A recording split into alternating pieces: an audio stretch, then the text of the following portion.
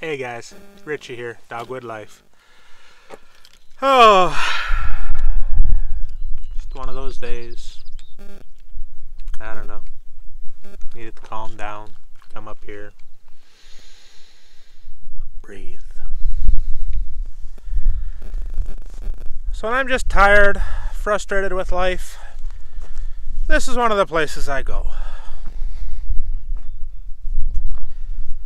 Can just see forever.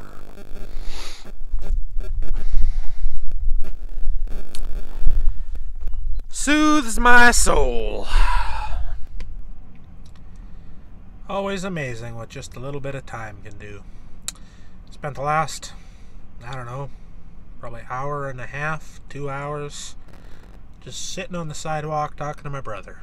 Just about everything it makes a world of a difference to just vent a little bit and talk and visit and recharge. So, I love you guys. We will talk to you later.